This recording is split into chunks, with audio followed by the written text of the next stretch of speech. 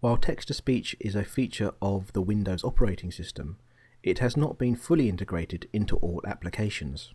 This means that if you want to use the text-to-speech feature in Microsoft Office, it will only fully work in Office 2010. To enable text-to-speech in Office, we need to load up one of the Office applications. In this example, I'm going to load up Microsoft Word 2010.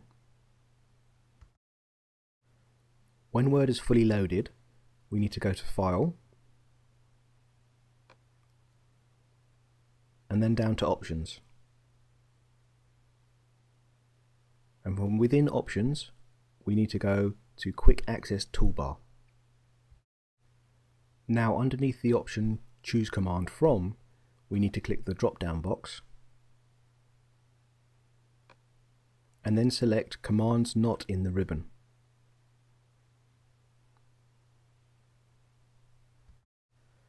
Now from within the list of commands, we need to locate the option called Speak.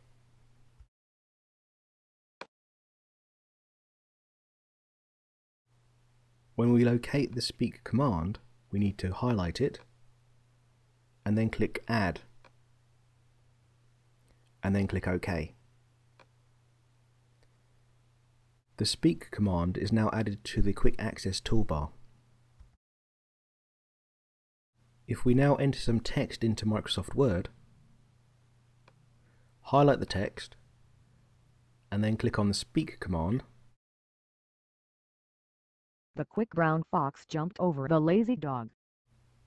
The computer will read back your text.